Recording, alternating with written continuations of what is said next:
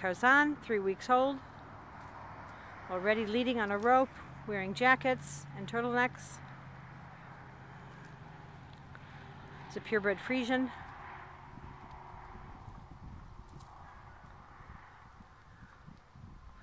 Working with our trainer. It's doing really well.